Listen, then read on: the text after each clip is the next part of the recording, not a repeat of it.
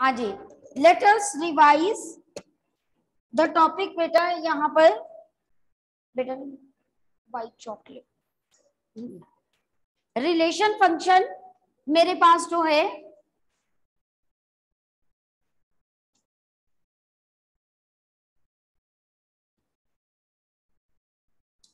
अब बेटा देखिए रिलेशन फ़ंक्शन में सबसे पहले आ, आप लोगों ने जो पढ़ा था वो कार्टिजन प्रोडक्ट पढ़ा था। और कार्टिजन प्रोडक्ट की मेरे पास जो है क्या छोटी छोटी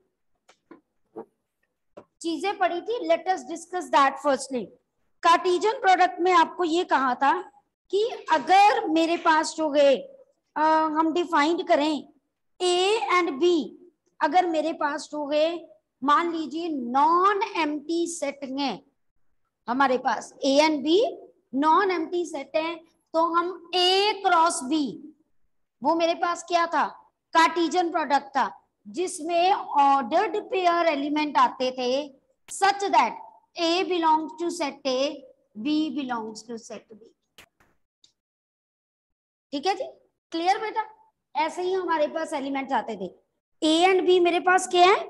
नॉन एम्प्टी सेट है अच्छा अगर मान लीजिए थैंक यू बेटा थैंक यू मान लीजिए मेरे पास if A empty set है और या बी एम्प्टी सेट है। इनमें कुछ भी नहीं है मेरे पास ए या बी में, किसी एक सेट में भी। और वर्ड आ गया ना। तो that means A cross B तब क्या होगा? फाइव होगा। क्योंकि एक सेट में कुछ है ही नहीं। अगर आई नहीं है तो ऑर्डर रिपेयर कैसे डिफाइन कर सकते नहीं डिफाइन कर, कर सकते ना तो that means A cross B क्या हो जाएगा? फाइव हो जाएगा। क्लियर बेटा? नाउ कम टू नेक्स्ट बेटा। मेरे पास जो है अगर मेरे पास एन ऑफ़ ए मेरे पास पी है एन ऑफ़ बी मेरे पास क्यू है तो बेटा hundred percent n cross n of A cross B वो पी इंटू क्यू होगा। एग्ज़ाम्पल अगर मैं दू, मान लीजिए, मेरे पास जो है एक सेट ए में सपोज़ सेट ए है, उसमें टू थ्री और फोर एलिमेंट है, और बी में वन टू तो बेटा ए क्रॉस बी में, मेरे पास कितने एलिमेंट्स आएँगे? हंड्रेड परसेंट सिक्स एलिमेंट है। ओके जी? वो कैसे? पहले टू लिया टू के साथ वन फिर टू लिया टू के साथ टू फिर थ्री के साथ वन थ्री के साथ टू फिर फोर के साथ वन और फोर के साथ टू ओके क्लियर तो अपने आप देख लीजिए कितने एलिमेंट्स हो गए सिक्स तो यही फॉर्मूला लगाया मैंने। ओके बेटा? नाउ कम टू नेक्स्ट बेटा। मेरे पास जो है, अगर दो ऑर्डर्ड पेयर इक्वल होते if two ordered pairs are equal तो दैट मीन्स उनका फ़र्स्ट फ़र्स्ट एलिमेंट जैसे हम कहते होते थे x one x two equal होता है है ना? या x one y one equal to x two y two है। तो हम कहते थे एक्स एक्स वाले कट सेम होते हैं वाई वाई वाले। तो यहाँ पर भी ऐसे ही है। अगर दो ऑर्डर्ड पेयर मेरे पास इक्वल हैं तो हंड्रेड परसेंट पहले पहले वाला सेकंड सेकंड वाला इक्वल ही होता है। ओके बेटा? क्लियर बात समझ आ गई सबको? नाउ कम टू नेक्स्ट बेटा। मेरे पास हो गए। सेम वैसे तो मेरे पास हो गए थ्री ऑर्डर वाले ट्रिपलेट ऑर्डर वाले डिलीटेड है। R cross R cross R पर अगर हम जनरलाइज करें तो उसमें भी ऐसा ही होता है। अगर एन ऑफ़ ए पी है एन ऑफ़ बी क्यू है, ऐसे में एन ऑफ़ सी आर लिख दू तो अगर मुझे n of A cross B cross C हो तो वो पी क्यू आर ये हो जाए। बात समझ आई बेटा? क्लियर कोई डाउट तो नहीं किसी को यहाँ तक? ठीक है? यहाँ जितने भी क्वेश्चन बनते हैं ना, वो शॉर्ट क्वेश्चन बनते हैं। कोई इतना बड़े वाला क्वेश्चन नहीं आता इस चैप्टर में से बनता ही नहीं इजिली एडजस्ट हो जाता अब नेक्स्ट देखिए बेटा। मेरे पास नेक्स्ट क्वेश्चन क्या है?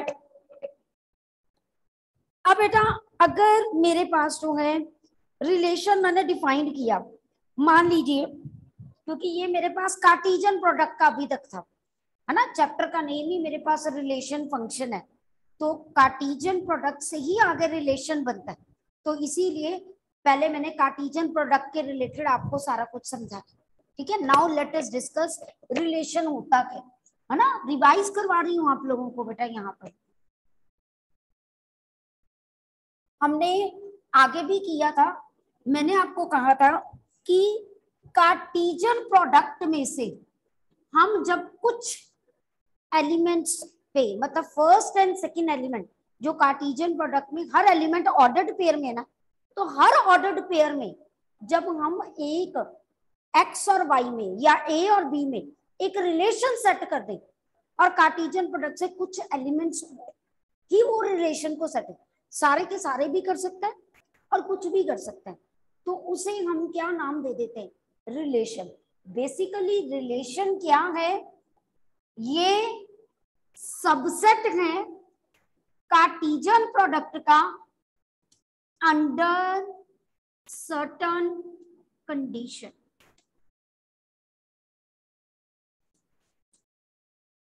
ओके बेटा? Under certain condition equal proper नहीं. प्रॉपर में इक्वल टू नहीं आता. इक्वल भी हो सकता है। सारे के सारे एलिमेंट कार्टिजन प्रोडक्ट के कंडीशन सेटिस्फाई करते हो। तो इक्वल आ गया ना बीच में। अगर मैं इक्वल टू नहीं डालती तो उसे हम कहते हैं प्रॉपर सबसेट यहाँ प्रॉपर नहीं है वो इक्वल भी हो सकता है। ठीक है? जैसे मान लीजिए मैंने आ, मेरे पास ए क्रॉस बी में ऐसे एलिमेंट्स हैं। मेरे पास one one two one two three two four ऐसे हैं। और मैं कहूँ कि मैंने कैसे एलिमेंट्स लेने हैं? अच्छा यहाँ टू वन नहीं लेती, मान लीजिए, मैं टू टू लेती A less than equals to B मैंने रिलेशन डिफाइंड किया ए बी सच दैट मेरे पास A less than equal to B तो ये सारे के सारे एलिमेंट्स आ जाएँगे ना। One equal to one two equal to two two is less than three two is less than four. आएँगे कि नहीं आएँगे? आएँगे ठीक है बेटा?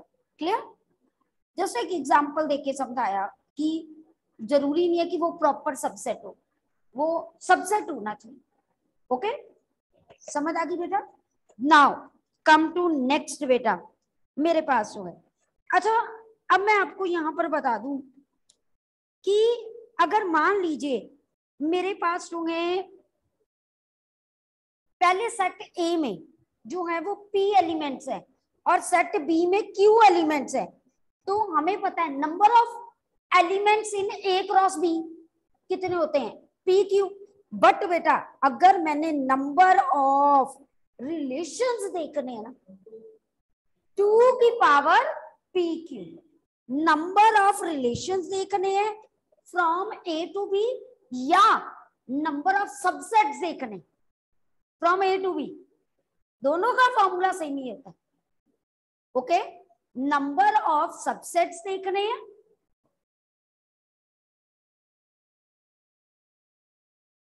ये देखिए। Number of subsets number of relations एक ही बात है। क्योंकि रिलेशन है क्या? सबसेट ही है ना? ए क्रॉस बी का। तो number of subsets of A cross B that is equal to two power p q इसको ऐसे भी लिख सकते वो पी क्यू क्या होता है? हमें टेंशन नहीं। ठीक है ना? क्लियर है बात? अब बेटा नेक्स्ट मेरे पास जो है। अगर मेरे पास जो है कोई रिलेशन डिफाइंड किया है from a non empty set A to non empty set B तो बेटा, जो रिलेशन मैंने डिफाइंड किया यहाँ पर ए बी कुछ भी डिफाइंड किया, ठीक है? वेयर इतना तो मुझे पता है ना? A belongs to set A B belongs to वहाँ से ही लेते हैं। अंडर सर्टन कंडीशन रिलेशन में कंडीशन ज़रूर होती है है ना? नहीं तो ये कार्टिजन प्रोडक्ट की डेफिनेशन बन जाती है ओके अब जरा ध्यान से देखना। फ़र्स्ट फ़र्स्ट एलिमेंट जो है, उनका सेट फ़र्स्ट एलिमेंट्स ऑफ़ जो है आर उसे हम क्या कह देते हैं? Domain of R second second element मेरे पास हो गई। रेंज ऑफ़ आर ओके जी? उसका सेट सेकेंड एलिमेंट्स का सेट ओके बेटा? बात क्लियर होगी ठीक है। अब देखिए नेक्स्ट बेटा मेरे पास तो है यहाँ पर मैंने आपको डोमेन बता दी रेंज बता दी। हाँ जी। अब एक जो है, अगर रिलेशन ए टू बी है तो जो बी सेट होता है ना, उसे हम कहते हैं को डोमेन ऑफ़ आर ओके जी? नेक्स्ट बेटा मेरे इसमें बताने के लिए। अच्छा एक चीज़ यहाँ बता दू। आप मुझे बता सकते हो? जो डोमेन ऑफ़ आर है, वो सेट ए का क्या होता है? इक्वल होता है। अगर मैं फिल इन दी ब्लैंक्स में क्वेश्चन डाल दू domain of R is dash of A कैसे? डोमेन में बी के एलिमेंट आ ही नहीं सकते। अभी तो मैंने बताया डोमेन ऑफ़ आर जो है, वो मेरा, है ना? हाँ जी? सबसेट होता है हमेशा। बिल्कुल। मैंने प्रॉपर सबसेट नहीं ना बोला। आपने आधा एक पार्ट में बोला, एक पार्ट में आधा बोला। इक्वल टू भी हो सकता है। ज़रूरी तो नहीं है कि सारे के सारे कोई एलिमेंट फ़र्स्ट वाला सेटिस्फाई ना करता हो कंडीशन है ना? तो दैट इज़ अ सबसेट जो है। प्रॉपर सबसेट नहीं बोला मैंने। अगर कोई बच्चा इतना लिखेगा ना तो मैं कोई नंबर नहीं दूँगी। वैसे भी एमसीक्यू क्वेश्चन है। एक में ये है, एक में ये ऑप्शन है। तो जो इसको टिक करेगा, उसी को नंबर मिलेगा ना। समझ आई बात? वेरी जो क्वेश्चन होंगे ना, उनके आंसर जो है वेरी क्लोज होंगे। यही तो जज करने यहाँ से ही तो बेसिक अंडरस्टैंडिंग पता चलेगी ना। तभी तो वर्ड मैंने प्रॉपर सबसेट बोला, नहीं बोला। प्रॉपर सबसेट होता तो इक्वल टू नहीं आता। मैंने क्या बोला सिंपल सबसेट क्योंकि आपने बोला मैम इक्वल टू तो फिर मेरे मैं रुक गई, क्योंकि मैं आपके दिमाग को सोच रही थी कि आप किस लेवल तक। फिर मैंने आपको बताया, अगर एक सेट ए में वन टू थ्री है है ना? और दूसरे सेट में फोर फाइव सिक्स है। मैंने वो एलिमेंट लेने हैं जहाँ पर बी बड़ा हो ए से ए हो बी से लेते है ना? कोई भी नहीं आएगा। तो आप कह रहे हो कि वो इक्वल टू होना चाहिए। दैट इज़ रॉन्ग ना? सबसेट हो सकता है। प्रॉपर सबसेट ज़रूरी नहीं है क्यों? प्रॉपर होता हंड्रेड परसेंट प्रॉपर होता तो इक्वल टू वाला साइन नहीं होता। कई बार सारे के सारे एलिमेंट आ जाते अगर मैं कहूँ कि वो लोग A less than equal to B सारे आ जाते ना? तो फिर वहाँ पर प्रॉपर सबसेट नहीं ना चलता। बात समझ आई बेटा? Clear to everyone online students चलिए नेक्स्ट बेटा मेरे पास हो गए। अच्छा जो रेंज ऑफ़ सेट जो है, वो कोड मेन का क्या होता है? सबसेट होता है, बिल्कुल। अगर मैं रेंज की बात करूँ यहाँ पर range of R that is a subset of B या codomain B is a codomain of है ना? तो आप बी लिख दो या कोड में लिख दो वन इज़ द सेम ठीक है? नाउ कम टू नेक्स्ट बेटा। अगर मेरे पास हो गए ए और बी दो नॉन एम्प्टी सेट है और एक फ़ंक्शन डिफाइंड किया है। फ़ंक्शन क्या होती है? एक मैपिंग होती है। मैंने आपको बताया था नॉर्मली जब भी हम फ़ंक्शंस घर पे रखते हैं, चाहे वो आपका बर्थडे है, चाहे किसी के घर रिंग सरामनी है होटल में एक बाउंड्री फिक्स करते हैं। है ना? घर पे या तो टेंट्स का अरेंजमेंट करते हैं हॉल का अरेंजमेंट करते हैं, अगर किसी होटल में करना है। एक बाउंड्री तो फिक्स करते हैं ना। तो ऐसे ही फ़ंक्शन में हम मैपिंग मैपिंग का मतलब अच्छा एक और मैं आपको एग्जांपल इसके को रिलेट देती हूँ। फ़ंक्शन में जाना है, आप तैयार होके जाते हो, आप डिफरेंट लुक करते हो। बंदा वही एक्स ही। पर्सन वो एक्स ही है। जब वो फ़ंक्शन आ गया मैपिंग होगी, ठीक है? वो नया एलिमेंट आ गया। लुक ही चेंज हो गई। मैपिंग होगी बाउंड्री सेट होगी तो फ़ंक्शन बन गई। इसीलिए फ़ंक्शन को हम क्या कहते हैं? एक मैपिंग कहते हैं। और आप रियल लाइफ से कोरिलेट करो ना, वही है, एक अनटाइडी नाइट सूट पहन के कोई बंदा तो नहीं जाएगा ना। है ना? कोई आने भी नहीं देगा। आप नाइट सूट पहन के जरा ट्राई करो किसी होटल में एंट्री करने की ठीक है ना? पॉसिबिलिटी नहीं। है ना? सेम हेयर तो वो rule mapping is a rule है ये रिलेशन की तरह ही। But it's a rule to attain certain things but relation और इसमें क्या डिफरेंस है? मेरे पास हो है वहाँ पर मुझे रिलेशन में ए क्रॉस बी से मैं एलिमेंट लेती थी। यहाँ ये वास्ट होता है, यहाँ रियल टू रियल मैं अपनी तरफ़ से इनपुट पुट करती हूँ आउटपुट मुझे मिलता है फ़ंक्शन में ये होता है। अपनी तरफ़ से, जिसके घर फ़ंक्शन है, उसने अपनी मर्ज़ी करनी है सेम इज़ हियर ठीक है ना? जैसे मैंने ऑफ़ एक्स डिफाइन किया e power X F of X define किया। Mod X real to real है मेरे पास। है ना? नेचुरल टू नेचुरल भी हो सकता है। इंटीजर टू इंटीजर भी हो सकता है। लॉक करवा देती है जी।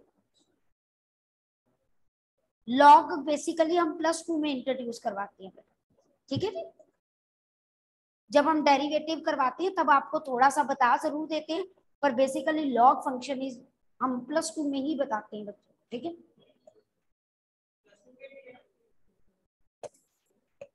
समझ आ गया बेटा सबको? तो मेरे पास जो है फ़ंक्शन क्या है?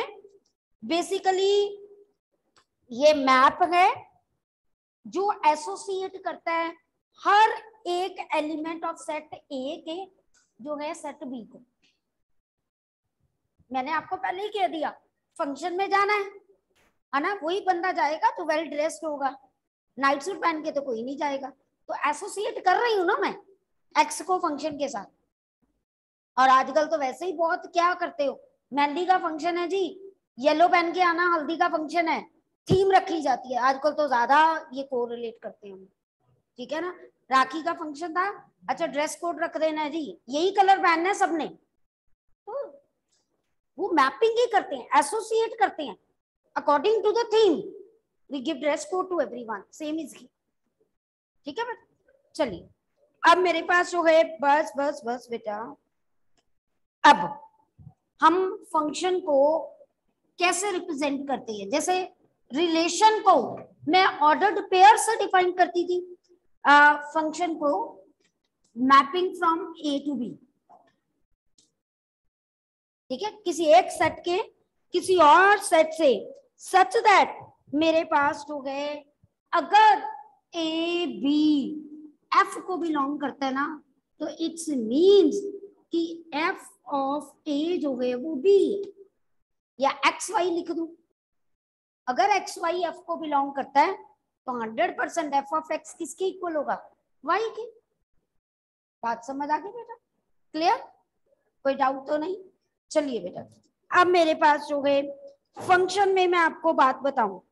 अच्छा नॉर्मली मैं आपको बता दूँ कि रिलेशन में तो हम कुछ सबसेट उतारते हैं हर एक का।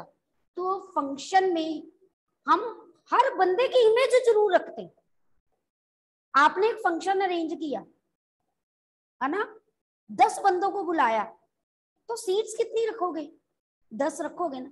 कोई पर्सन ऐसा नहीं होना चाहिए जिसको बुला लिया और सीट ना रखो उसकी। आप यहाँ से you are having some function in Kullu Manali, ठीक है? और आप कह रहे हो कि दस बंदे का मैंने अरेंजमेंट किया, अपने घर के दस बंदे लेके जाऊँगा, वहाँ बर्थडे सेलिब्रेट करूँगा, ठीक है? आप वहाँ कर रहे हो।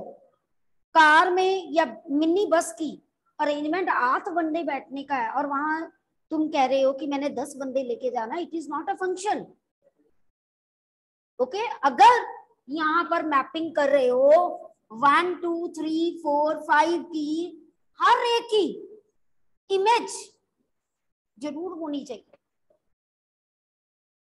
ठीक है ना? तो अगर इमेज है तो तभी वो फ़ंक्शन होता है।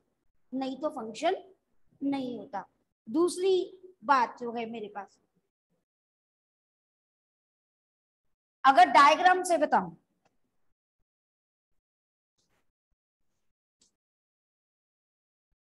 ये लीजिए। ये एक फ़ंक्शन डिफाइन किया। मैंने। ठीक है? अब डायग्राम से आप मुझे बताओगे कि ये फ़ंक्शन है कि नहीं है।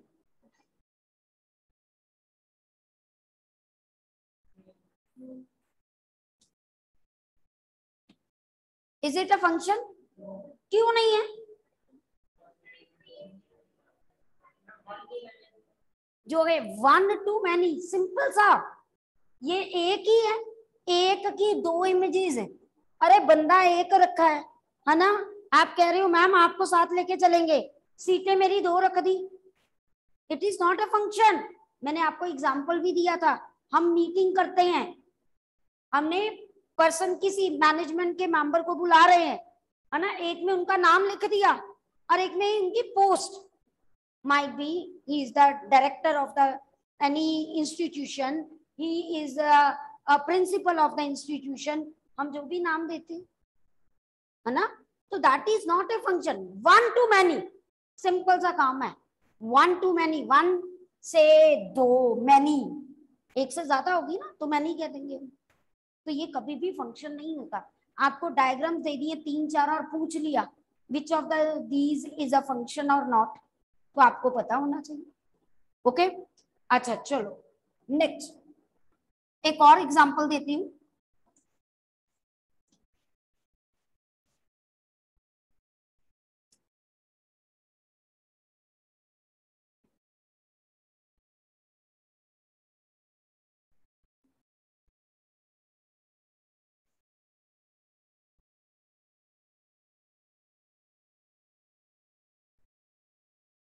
चलो is this a function why not यहाँ पर इसकी इमेज होनी चाहिए थी ना? है ही नहीं? तो मैं कैसे फ़ंक्शन करूँ? ओके जी? क्लियर आर्यमान क्लियर चलिए। अब नेक्स्ट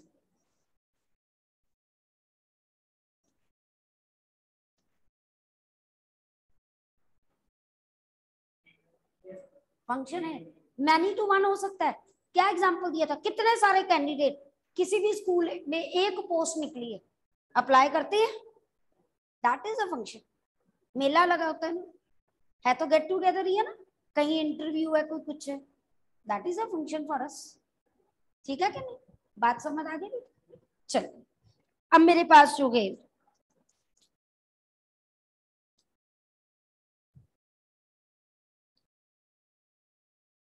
अब बेटा क्वेश्चंस करवाने लगी हूँ, ध्यान से सुनना। ठीक है? MCQ type questions from this chapter बाकी जो है फ़ंक्शन की डोमेन और रेंज मैंने आपको बताया था। उस पर एक थोड़ा सा पहले बता देती हूँ, फिर एमसीक्यू स्टार्ट करती हूँ। फ़ंक्शन की डोमेन होती है इनपुट जहाँ पर वो डिफाइंड होता है। ठीक है? कोई ऐसी वैल्यू ना हो, जहाँ पर वो डिफाइंड नहीं होता। और रेंज क्या होती है? आउटपुट जैसे मेरे पास अगर ये फ़ंक्शन है इनपुट आप कोई भी वैल्यू पुट कर सकते हो am I right any value हर एक के लिए ये डिफाइंड है। लेकिन अगर फ़ंक्शन मैं ये लिख देती आर माइनस ज़ीरो क्योंकि ज़ीरो पे ये डिफाइंड हो ही नहीं सकता। अगर मैं ऐसे लिख दू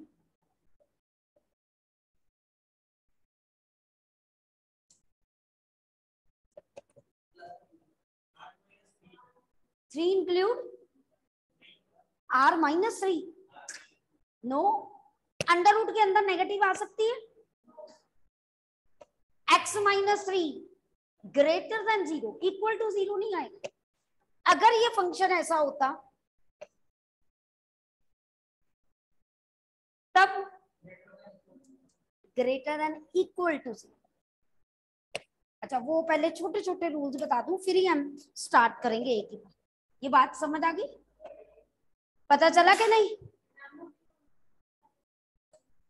क्योंकि अगर मैं यहाँ इक्वल टू ज़ीरो ले लेती दैट मीन एक्स की वैल्यू थ्री पुट कर सकते थे।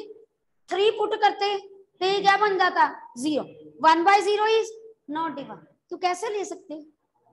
ओके जी? क्लियर नेक्स्ट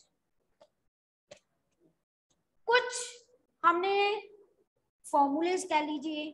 या आइडेंटिटीज कह लीजिए, वो लर्न की हुई है mod X greater than A तो मैं आपको क्या समझाती हूँ?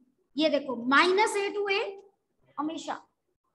चाहे स्केयर वाला है, चाहे ऐसे। है यही है। ग्रेटर में बाहर वाला। या आप ऐसे भी लिख सकते हो X greater than minus A greater than अगर मैंने इक्वल टू ले लिया मेरे को ऐसे नहीं सही लगता।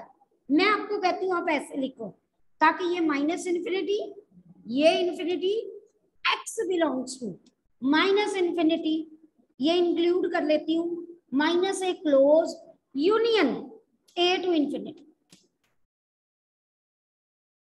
okay अगर mod X less than A है तो लेस मतलब अंदर वाला। तो x बिलोंग्स टू अब इक्वल टू नहीं है ना?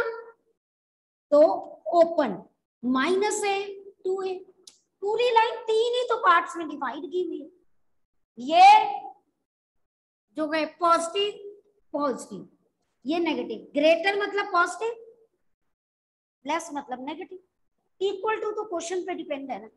अगर वहाँ इक्वल टू है तो यहाँ क्लोज लगा दो। नहीं है तो ना लगाओ। समझ आ गई? क्लियर फिर हमने क्या किया था? अगर याद हो, ये सारा लीनियर में भी यूज़ होता है। लीनियर इनइक्वालिटीज में बट वो, चलो, नहीं आना चाहते। हाँ जी। फिर और मॉड एक्स स्केयर जो है greater than equal to square same rule पुत्र सेम अच्छा मॉड नहीं भी हो एक्स स्केयर भी हो वही रूल लगना है, जो मॉड में लगा। कोई चेंज नहीं है। ठीक है जी? क्लियर क्योंकि ये कब यूज़ होना है आपका? जब कई बार इंटरवल या फ़ंक्शन ही ऐसा आ गया। अब जैसे मैं आपको बताती हूँ, ये आ गया। ये लीजिए। मुझे पता अंडर रूट का आ गया अंडर रूट में क्या होता है? X square minus A square is greater than equal to zero X square is greater than equal to three square बन गया ना? तो जिस बच्चे को रूल ही नहीं पता होगा, वो क्या करेगा? तो क्या करेंगे इसका आंसर डोमेन क्या लिखेंगे? That means X belongs to मेरे पास minus infinity to minus three close union three to infinity ये डोमेन मैं कैसे? माइनस थ्री और थ्री कैसे डोमेन कर बेटा, आप आर माइनस ऐसे लिख सकते हो। आप ये कह रहे हो। इसको ओपन कर ऐसे? पता क्या हम किसी सेट में से इंटरवल नहीं माइनस कर सकते। गलत, अगर आप ऐसे लिखते हो। ये ये तो इसका मतलब है आर में से माइनस थ्री और थ्री गया। बट एक सेट में से आर इज़ सेट है ना? पूरा बड़ा सेट है। उसमें से कैसे माइनस कर दें? इंटरवल तो उसके लिए हम ऐसे ही लिखते बेटर होता। गलत नहीं मैं इसको कहती बट मैंने कभी देखा नहीं ऐसे लिखा हुआ किसी ऐसे लिखा हुआ देखा है। बट इसका मतलब है रियल में से दो एलिमेंट्स माइनस हुए। हमने दो थोड़ा करना हमने तो ये जो पूरी बाउंड्री थी माइनस थ्री ये पूरा इंटरवल माइनस करना ओके क्लियर सबको बात समझ आ गई? तो बेटर है यू ऑलवेज लाइक दिस अगर कोई ऑप्शन ही नहीं है, अब एमसीक्यू टाइप में अगर मान लो, किसी टीचर ने लिख भी दिया तो फिर यही ऑप्शन टिक करोगे। ये तो बिल्कुल ही गलत है ना? और ये भी गलत है। दिस इज़ ऑल्सो रॉन्ग क्योंकि इसमें तो माइनस थ्री और थ्री भी डिलीट हो गया। बट वो तो मुझे चाहिए ना, क्योंकि इस पे क्लोज है। वैसे मैंने आज तक कभी ऐसे लिखा नहीं देखा। ओके बात समझ आ गई बेटा बाकी ऑप्शन हम लिख रहे गलत मुझे नहीं लग रहा। अगर मैं रियल को देखूँ minus in infinity to infinity है तो वो भी एक इंटरवल और उसमें से इतना माइनस कर दिया। बट जितना का हमने देखा है सेट में से सेट माइनस करते हैं या एलिमेंट्स माइनस करते हैं, इसका मतलब होता है। फिर भी मुझे ठीक लगा कोई ऐसे। बिल्कुल बिल्कुल जी बिल्कुल। बात समझ आ गई बेटा? चले आगे। तो मैंने ऑलमोस्ट आपको डोमेन तक अभी क्वेश्चंस नहीं करवाए बट हर टॉपिक का आपको वो बता दिया कि हम कैसे कैसे कर सकते ठीक है जी? क्लियर तो इसके बाद जो है हम लोग क्या करेंगे? We will do the questions जो है आफ्टरवर्ड कल से हम क्वेश्चंस ही करेंगे इसके, ताकि एटलीस्ट ये दो चैप्टर स्ट्रेट लाइन अच्छी तरह हो गया ना, पता चल गया ना कैसे क्वेश्चंस बनते हैं, हम लोग नेक्स्ट कर सके। ओके क्लियर क्लियर बेटा? Okay till then goodbye and take care